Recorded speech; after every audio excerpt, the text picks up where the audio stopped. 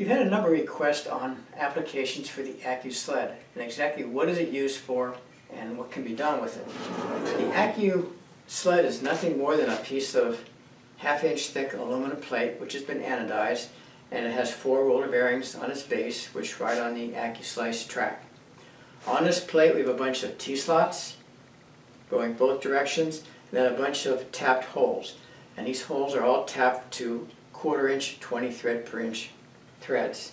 And these are used for attachment of screws that can hold various clamps and jigs or that these hex head uh, quarter inch 20 thread per inch uh, screws also slide in the T-slots.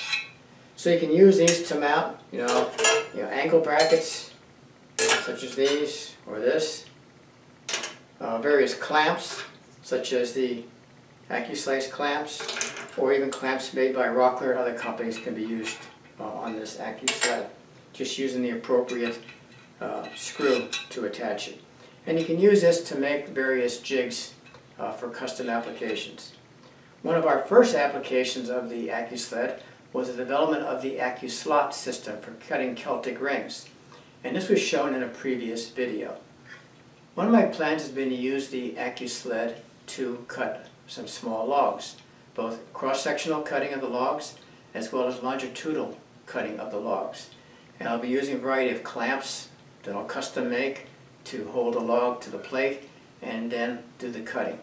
So that will be the purpose of this video is to show applications of the AccuSled for cutting logs.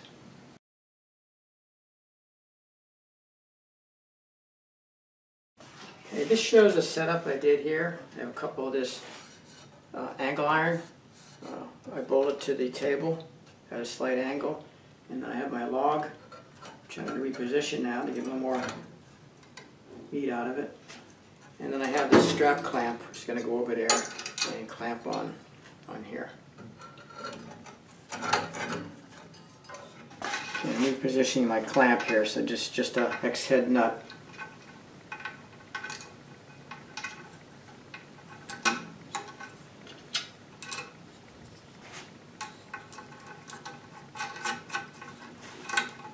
move it out here a little bit get a little bit of tension on it.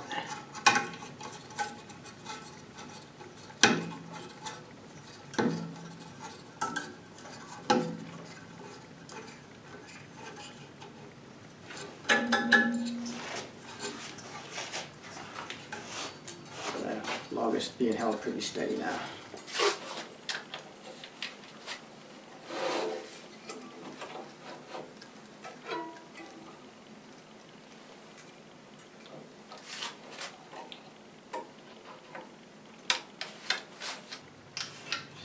This first piece off just to square it off, and then I'm going to cut a bunch of quarter inch thick slabs.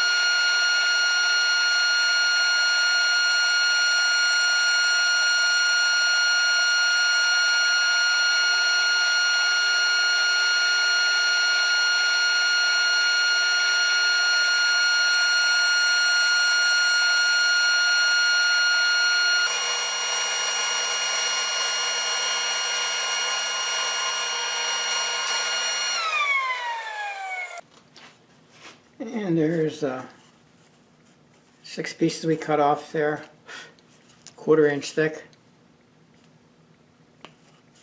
And I said oh, we'll make this into something, probably a tabletop.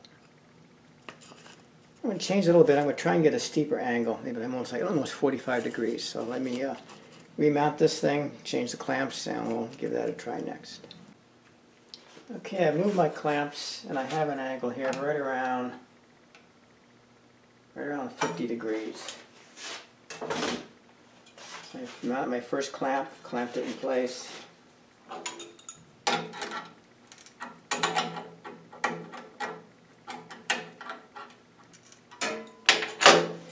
And my second clamp and my strap clamp.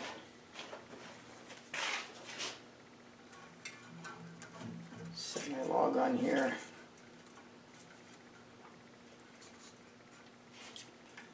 And we'll use this clamp.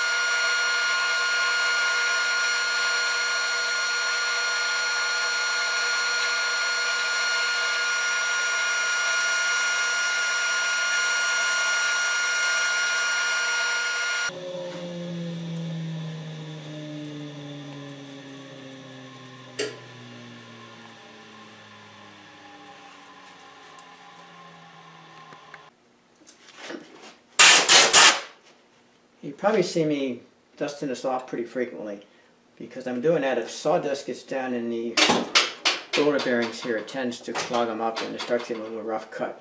So if you start seeing a rough cut, it means those bearings are getting clogged up with sawdust. So just dust them off and they'll be fine. I'm limiting the uh, extent of this log now. I changed the angle to 30 degrees and uh, I strapped it. I'm just got enough to get a couple cuts out of this board, or out of this log.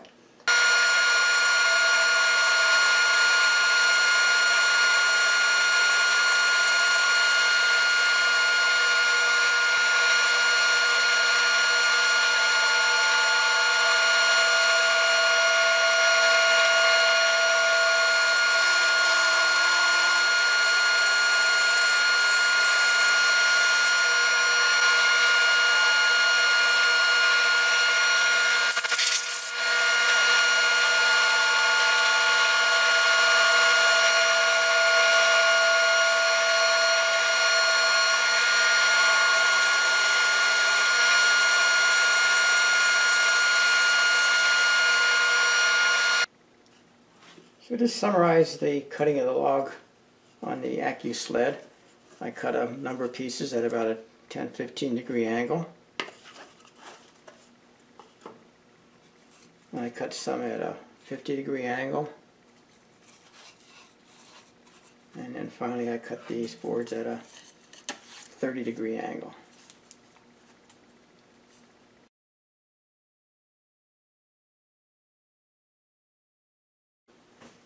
Okay, another application here. I took my uh, AccuSled and I mounted some L brackets on it and I screwed it to the same log and to do some uh, horizontal cuts on the log, stripping off a couple pieces, see what it looks like.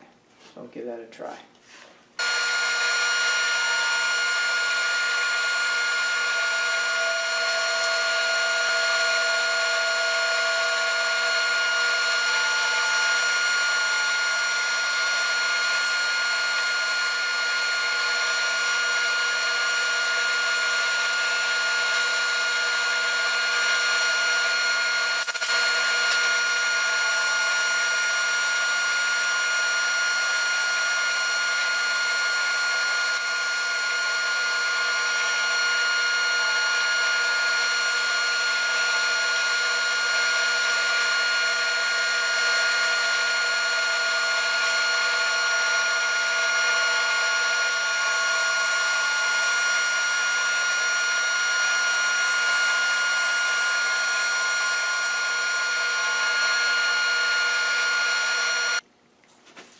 I made a bunch of slivers there, uh, 50 thousandths of an inch thick. Like all these pieces here were all 50 thousandths inch thick. Showing you can make veneers off a log. Then I made some other pieces, uh, 100 thousandths and a quarter inch thick.